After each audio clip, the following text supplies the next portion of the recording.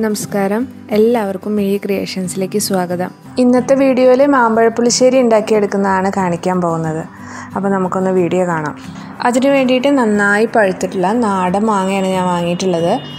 മൂന്ന് മാങ്ങയാണ് എടുത്തിട്ടുള്ളത്. അത് നന്നായി കഴുകിയിട്ട് അതിന്റെ തൊലിയൊക്കെ ചീന്തി കളഞ്ഞിട്ട് അതൊന്ന് ചട്ടിയിലേക്ക് വെച്ച് കൊടുക്കുന്നുണ്ട്. നാട്ടിൽ കിട്ടുന്ന പുളിമാങ്ങ ഇല്ലേ ചെറിയ സൈസ് അത് പഴുത്തതുണ്ടല്ലോ. അതിന്റെ നന്നായി പഴുത്തിട്ടുള്ള മാങ്ങയാണ് നമ്മൾ മാമ്പഴ പുളിശ്ശേരിക്ക് ഉപയോഗിക്കേണ്ടത്. അപ്പോൾ നല്ല മണവും നല്ല ടേസ്റ്റൊക്കെ കിട്ടും. പിന്നെ അതിലേക്ക് ചേർത്ത് കൊടുക്കുന്നത് ഒരു ടീസ്പൂൺ മുളക് പൊടിയാണ്.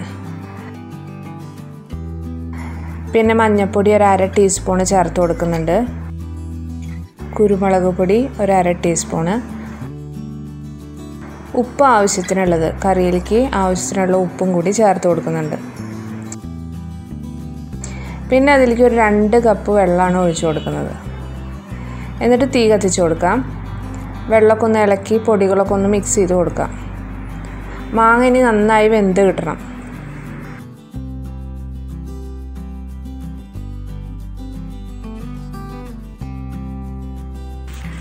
മാങ്ങ വേവുന്ന സമയം കൊണ്ട് നമുക്ക് അതിലേക്കുള്ള ഒരു അരപ്പ് റെഡിയാക്കി എടുക്കണം. അപ്പോൾ അതിന് വേണ്ടിയിട്ട് ഞാനിവിടെ ഒരു അര കപ്പ് നാളികേരം ചെറുകിയതാണ് എടുത്തിരിക്കുന്നത്. നല്ല തിക്കായിട്ട് തന്നെ എടുത്തിട്ടുണ്ട്. അതൊരു മിക്സിയുടെ ജാറിലേക്ക് ഇട്ട് കൊടുക്കുന്നുണ്ട്.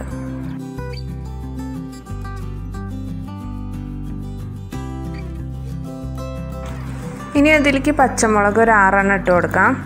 ഈ ഒരു എരിവ് കറക്റ്റായിരുന്നു കേട്ടോ അപ്പോൾ എരിവ് കൂട്ടണമെങ്കിൽ മുളകിന്റെ എരിവിനനുസരിച്ചിട്ട് പച്ചമുളക് ചേർത്ത് കൊടുത്തോളൂ.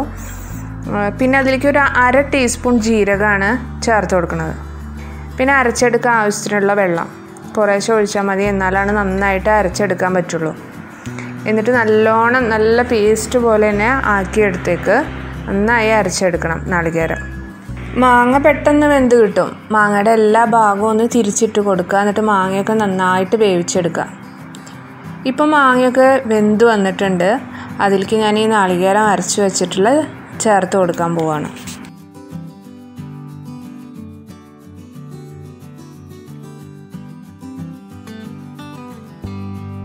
അരപ്പ് കറിയിൽ നന്നായിട്ട് യോജിപ്പിച്ചെടുക്കാം.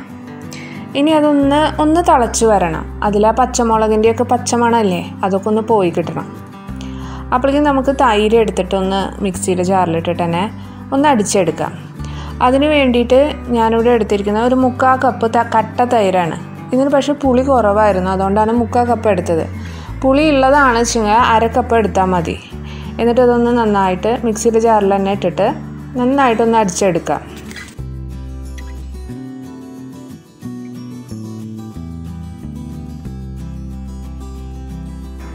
ഇപ്പോൾ കറിയൊക്കെ നന്നായി തിളച്ച് വന്നിട്ടുണ്ട്. ഇനി അതിലേക്ക് തൈര് അടിച്ചു വെച്ചത് ചേർത്ത് കൊടുക്കാം. അതെല്ലാം കൂടിയിട്ടൊന്ന് നന്നായിട്ട് ഇളക്കി കൊടുക്കാം. ഈ സമയത്ത് ഫ്ലെയിം നന്നായി കുറച്ച് വെക്കണം. അല്ലെങ്കിൽ അതിലേക്ക് തൈര് ഒഴിച്ചതൊക്കെ ആകെ കൂടി അങ്ങ് പിരിഞ്ഞു പോവും. അതൊക്കെ ഒന്ന് ഇളക്കി യോജിപ്പിച്ചതിന് ശേഷം അതിലേക്ക് പിന്നെ ഒരു അര ടീസ്പൂൺ പഞ്ചസാരയാണ് ഞാൻ ചേർത്ത് കൊടുക്കുന്നത്. ഈ പഞ്ചസാരയ്ക്ക് പകരം ചെറിയ കഷ്ണം ഒരു ശർക്കര ചേർത്ത് കൊടുത്താലും മതി. എന്നിട്ടൊന്ന് ഇളക്കി യോജിപ്പിച്ചെടുക്കാം. ഉപ്പൊക്കെ പാകമാണോ എന്ന് ഈ സമയത്ത് നോക്കാം കേട്ടോ എന്നിട്ട് തീ ഓഫ് ചെയ്യാം. അടുത്ത സ്റ്റെപ്പ് കറിയിലേക്ക് വറവ് ഇടുന്നതാണ് അപ്പോൾ അതിന് വേണ്ടിയിട്ട് ഞാനൊരു കടായി ചൂടാക്കുന്നുണ്ട്. കടായിയൊക്കെ ചൂടായി വരുമ്പോൾ അതിലേക്ക് വെളിച്ചെണ്ണയാണ് ഒഴിച്ചു കൊടുക്കുന്നത്. പിന്നെ ആ വെളിച്ചെണ്ണയിലേക്ക് കുറച്ച് ഒരു ഒരു ടീസ്പൂണ് നെയ്യും കൂടി ഒഴിച്ചു കൊടുക്കുന്നുണ്ട്. എന്നിട്ട് ഈ നെയ്യിന്റെ മണം ഇഷ്ടമല്ലെങ്കിൽ അത് സ്കിപ്പ് ചെയ്യാം കേട്ടോ. അധികം മണമൊന്നും എടുക്കില്ല. ഒരു ടീസ്പൂൺ അല്ലേ ഒഴിക്കുന്നുള്ളൂ. എന്നിട്ട് എണ്ണയൊക്കെ നന്നായി ചൂടായി വരുമ്പോൾ അതിലേക്ക് ഒരു ടീസ്പൂണ് കടുക് ഇട്ട് കൊടുക്കുന്നുണ്ട്. കടുക് ഒന്നിങ്ങനെ പൊട്ടി വരുന്ന സമയത്ത് തന്നെ ഉലുവയും കൂടി ഇട്ട് കൊടുക്കുന്നുണ്ട്. ഒരു അര ടീസ്പൂൺ ഉലുവ ഇട്ട് കൊടുത്താൽ മതി. പിന്നെ ഒരു രണ്ട് വറ്റമുളക് പൊട്ടിച്ചിട്ട് അതും കൂടി ഇട്ട് കൊടുക്കാം.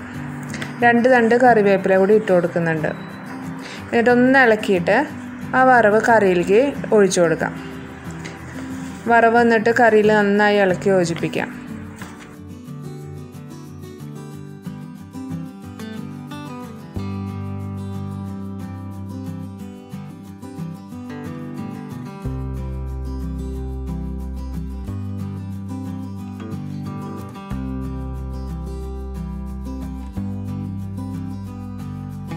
ഇപ്പം നമ്മുടെ മാമ്പഴ പുളിശ്ശേരി റെഡിയായിരിക്കുകയാണ് കറിയൊക്കെ നന്നായി വന്നിട്ടുണ്ടായിരുന്നു. നല്ല ടേസ്റ്റ് ഉണ്ടായിരുന്നു. അപ്പോൾ വീഡിയോ കാണുന്നവർ ആരെങ്കിലും ഉണ്ടാക്കി നോക്കാത്തവരുണ്ട് വെച്ചെങ്കിൽ ഒന്ന് ഉണ്ടാക്കി നോക്കൂ കേട്ടോ എന്നിട്ട് അഭിപ്രായമൊക്കെ പറയണേ. വീഡിയോ ഇഷ്ടമായാൽ ലൈക്ക് ചെയ്യാനും കമന്റ് ചെയ്യാനും മറക്കരുത്. അതുപോലെ തന്നെ ആരെങ്കിലുമൊക്കെ സബ്സ്ക്രൈബ് ചെയ്യാത്തവരുണ്ടെങ്കിൽ സബ്സ്ക്രൈബ് ചെയ്യണേ. താങ്ക്